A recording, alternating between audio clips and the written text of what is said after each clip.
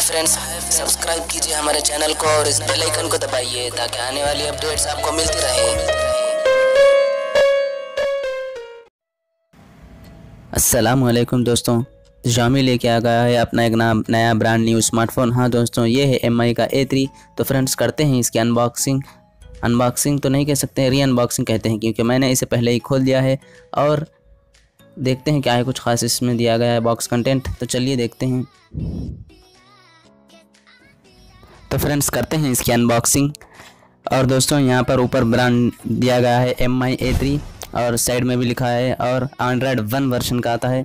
और back side में 48 megapixel triple camera with ultra wide lens दिया गया है और फास्ट फिंगरप्रिंट सेंसर दिया गया है अमोलेड डिस्प्ले और नीचे एंड्रॉयड वन और 32 मेगापिक्सल फ्रंट सेल्फी कैमरा दिया गया है।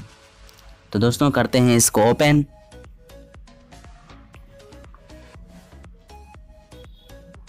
और इसमें ऊपर केस दिया गया है और इसके कुछ बेसिक पेपर वर्क्स और अब आता है फ़ोन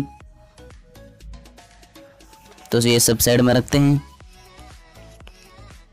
और दोस्तों ये रहा एम आई ए का ए थ्री और इसे भी बाजू रखते हैं और यहाँ पर केबल दिया गया है और यहाँ पर चार्जर तो करते हैं इसे साइड में और फ़ोन को ओपन करते हैं। तो दोस्तों phone M I A three आप देख सकते हैं।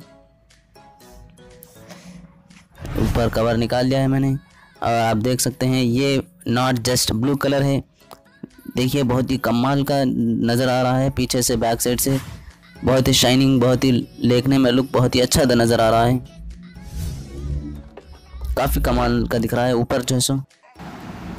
और हाँ दोस्तों, नीचे की तरफ़ आता है speaker grille USB type C port microphone grille जो 6.03 इंच का स्क्रीन है, और जो कि ना ही ज़्यादा, बहुत ज़्यादा बड़ा है और ना ही बहुत ज़्यादा छोटा है, जो कि बिल्कुल हम एक हैंड फ्रीली यूज़ कर सकते हैं।